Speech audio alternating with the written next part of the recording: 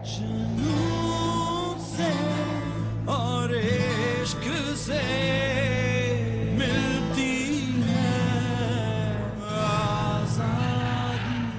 तहरीक पाकिस्तान में मुसलमानों ने अपने लहू का नजराना पेश करके अनमिट दास्तान रकम की।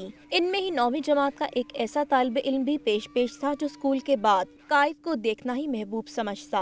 तेईस मार्च को मंटो पार्क में अवाम का जमे गफीर पाकिस्तान के कयाम के फैसले की मंजूरी पर खुश था तो वहीं इस नौजवान का जज्बा भी तीतनी था। ये महसूस हुआ कि शायद पुराना ख्वाब जो हम पढ़ते हैं कि मुसलमान एक ज़माने में दुनिया भर में तहजीब के मालिक थे और मशरक़ से मगरब तक उनकी हुकूमतें थे। और यहाँ अंग्रेज़ हमारी शुरू में किस्में से आ गए तो हम जो आज़ाद हो जाएँगे।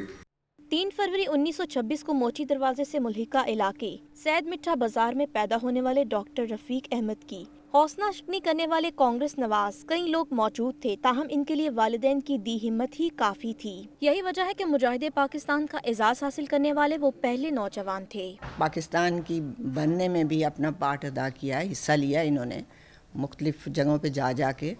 डॉक्टर रफीक अहमद होनहार तालब इल्म, आला पाए के उस्ताद, जो पंजाब यूनिवर्सिटी समेत मुख्तलिफ़ दरसगाहों खसूस यूनिवर्सिटी ऑफ़ एडनबोरो, अमेरिका में भी खिदमात अंजाम देते रहे। वो आज भी उन्नीस सौ निन्यानवे से बिला मुआवजा नज़रिया पाकिस्तान फाउंडेशन के वाइस चेयरमैन हैं। तेईस मार्च 1940 का दिन एक ऐसा मुबारक दिन है, जिस दिन न सिर्फ़ डॉक्टर रफीक अहमद, बल्कि सैकड़ों मुसलमाना ने हिंद को इस्लामी जमहूरिया पाकिस्तान के क़याम की खुशखबरी दी गई।